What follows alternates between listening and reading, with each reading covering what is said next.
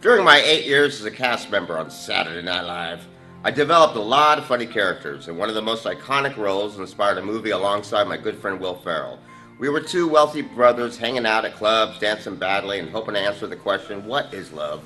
Sadly, the only thing we really ever figured out, besides synchronized head bopping, was how to get dramatically rejected.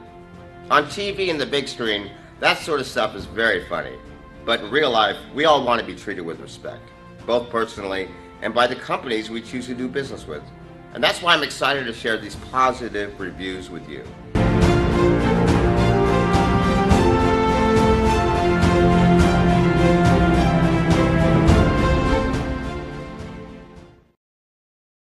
This is the kind of feedback that makes me feel confident as a consumer. It's comforting to know that you can expect great treatment from a business because you've heard it from other consumers just like you. And the business values this feedback as well. It reveals what people love and where there might be room for improvement. Besides, it's never enough to rest on past accomplishments. You got to continue to improve and stay motivated to provide first class service every day for years to come.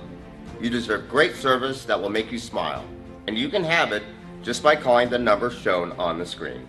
The positive people on the other end of that phone are looking forward to hearing from you and showing you what a true five star experience feels like. No dancing required.